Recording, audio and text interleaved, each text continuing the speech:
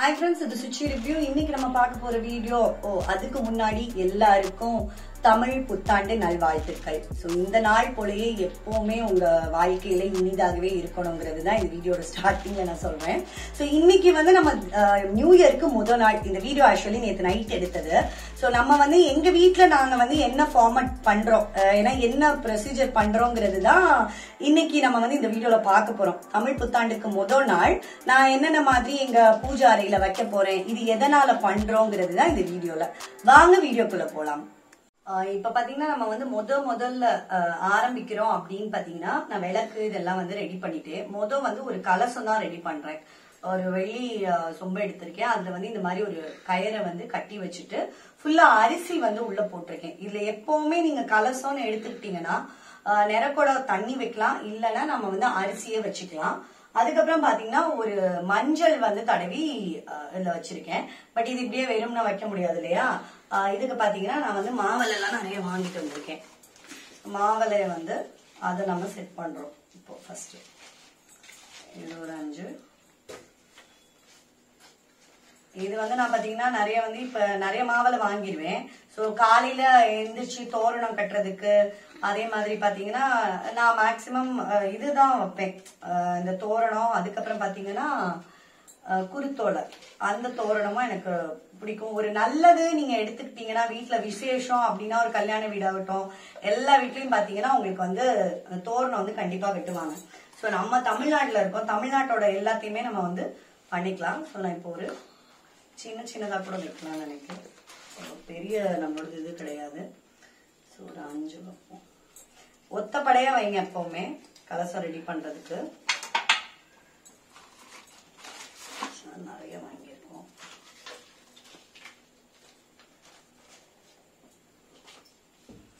கலசம் முதல் ரெடி பண்ணிட்டு அதுக்கப்புறம் பாத்தீங்கன்னா நீங்க எப்பவுமே ஒரு இப்ப இந்த வ- இதுக்கு பாத்தீங்கன்னா நம்ம வந்து ஒரு கண்ணாடி எடுக்கிறோம். அதே மாதிரி இதுல வந்து பழங்கள் அப்படின்னு நீங்க எடுத்துக்கிட்டீங்கன்னா ஒரு மூணு பழம் வச்சா போதுங்க. முக்கணி தான் வைக்கணும்.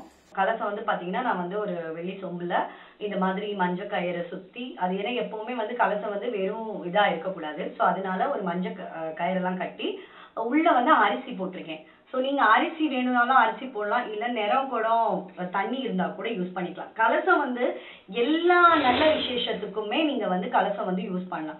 ஏன்னா நிறைய பேர் பாத்தீங்கன்னா கலசம் வந்து நிறைய விசேஷங்கள் பெரிய பாத்தீங்கன்னா தீபாவளி பொங்கல் இந்த மாதிரி தான் நம்ம கலசம் பண்ணுவோம். பட் ஆனா நீங்க என்ன வீட்ல ஒரு சின்ன ஒரு சுமங்கலி பூஜை ஆகட்டும் இல்ல வீட்ல வெள்ளிக்கிழமை வெள்ளிக்கிழமை கூட நீங்க இந்த மாதிரி கலசம் வந்து நீங்க ரெடி பண்ணி எப்பவுமே வச்சுக்கலாம். ஸோ நான் முதல் வந்து ஆரம்பிக்கிறது வந்து நான் கலசத்துல இருந்து ஆரம்பிச்சிருக்கேன்.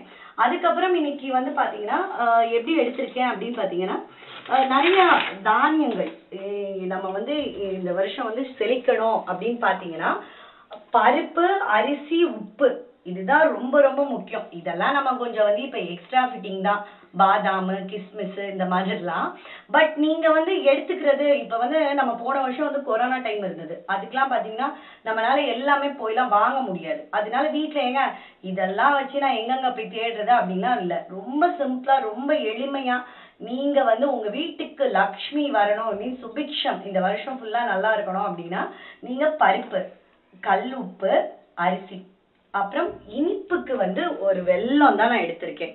ஸோ ஆனால் பட் நான் என்ன பண்ணேன்னா வீட்டில் வந்து என்னது பி- பாதாம் கிஸ்மிஸ் பழம் இந்த மாதிரி எல்லாமே கொஞ்சம் வந்து ட்ரை ஃப்ரூட்ஸும் அதோட வச்சுருக்கேன். ஃப்ரூட்ஸ்ன்னு சொல்கிறதுக்கு பட் நீங்கள் நார்மலாக இந்த இதை மட்டும் எடுத்துக்கலாம். ஆனால் பார்த்துக்கோங்க நிறைய நிறைய எடுக்கணும் எல்லாமே.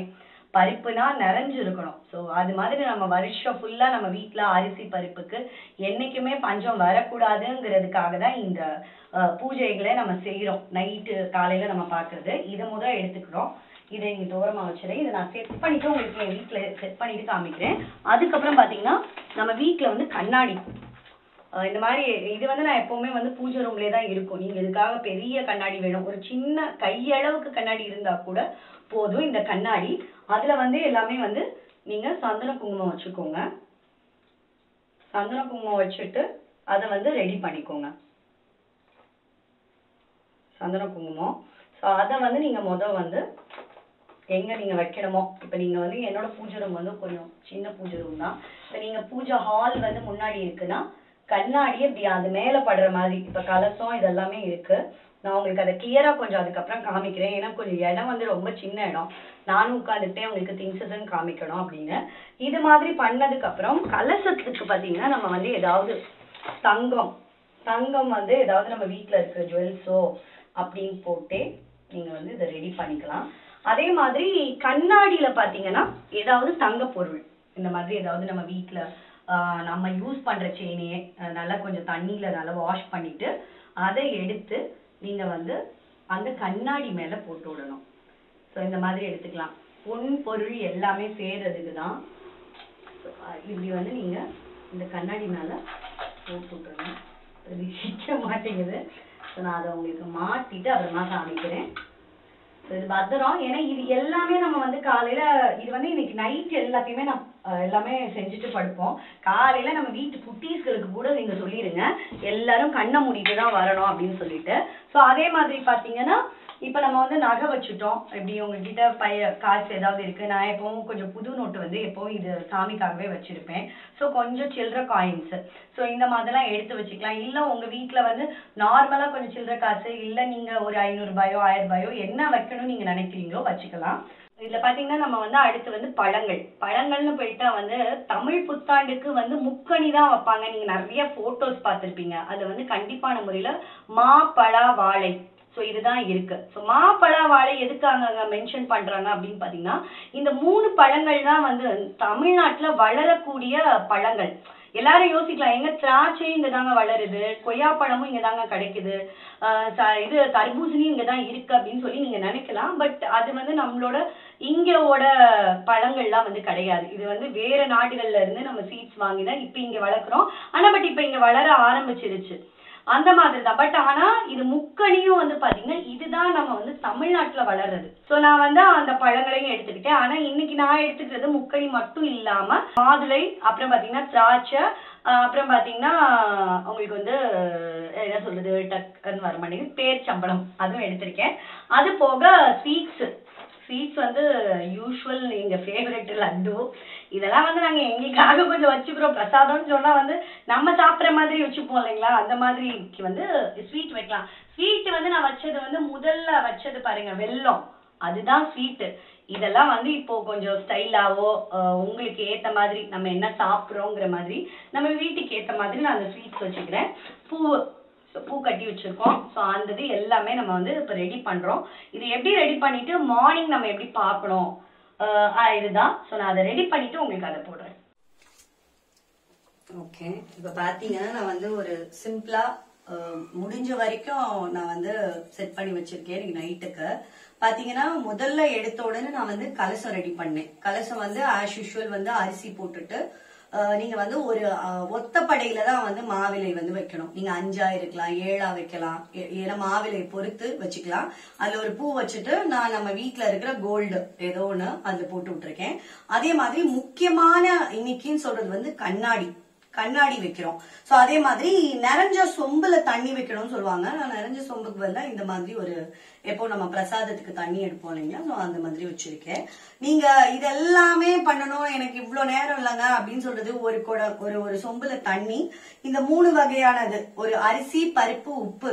ஏன்னா எனக்கு நேரம் கிடையாது. வீட்டுல இருக்கிற ஏதோ ஒரு பழம் இல்ல பேரிச்சம்பழம் வீட்டுல இருந்தா கூட அதை வச்சுக்கலாம். அதே மாதிரி இதுல வந்து நீங்க வந்து காய்கறி எல்லாம் கூட வைக்கலாம். நாட்டு காய்கறிகள். நம்ம நாட்டுல நம்ம தமிழ்நாட்டுல விளையிற காய்கறி எல்லாம் கூட வைக்கலாம்.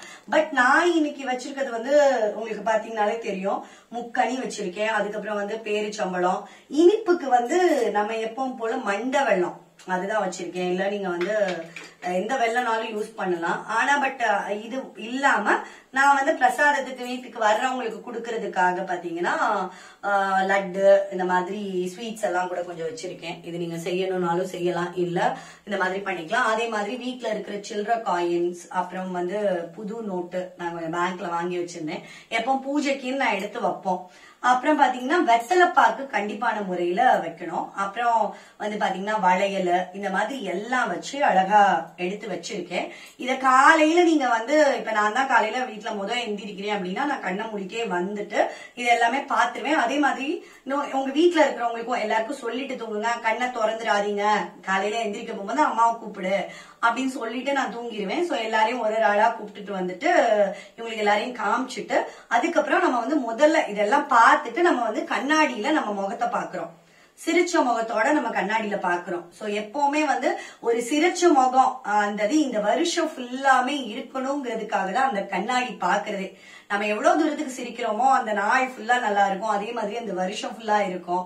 சோ அதனாலதான் நம்ம முகத்தை சிரிச்ச முகத்தோட அந்த கண்ணாடியில பார்த்துதான் இந்த சாஸ்திரத்தை வந்து நம்ம முடிக்கிறோம். காலையில நியூ இயர் தமிழ் புத்தாண்ட நம்ம கொண்டாடுறோம். அதுக்கப்புறம் பாத்தீங்கன்னா ஆஸ் யூஷுவல் நான் வந்து காலையில பூஜைக்கு விளக்கு எல்லாம் ரெடி பண்ணி வச்சுட்டு படுத்துருவோம். காலையில நாங்க எங்க வீட்டுல பொங்கல் இந்த மாதிரி பிரசாதத்தெல்லாம் படைச்சிட்டு யூஸ்வலா பூஜை பண்ணிப்போம். ஆனா இன்னைக்கு நைட்டு இது எல்லாத்தையுமே பண்ணிட்டு படுப்போம். சோ இத காலையில வந்து பாக்குற மாதிரி. சோ அந்த மாதிரி சிரிச்சிட்டு நீங்க வந்து காலையில உங்க நாளை வந்து இந்த வருஷத்தை தொடங்குனீங்கன்னா எப்பவுமே போல ஹாப்பியா இருக்கலாம். சோ மறுபடியும் உங்க எல்லாருக்குமே தமிழ் புத்தாண்டு நல்வாழ்த்துக்கள். இதே மாதிரி ஒரு நல்ல வீடியோ இந்த வருஷம் கண்டிப்பா உங்களுக்கு இந்த வீடியோ யூஸ்ஃபுல்லா இருந்திருக்கும். அதே மாதிரி நெக்ஸ்ட் இயர் இது மாதிரி மேக்சிமம் பண்ண ட்ரை பண்ணுங்க. இதே மாதிரி ஒரு நல்ல வீடியோல சந்திக்கிறேன். இட்ஸ் பாஃபம் சுசித்ரா பாய் நன்றி வணக்கம்.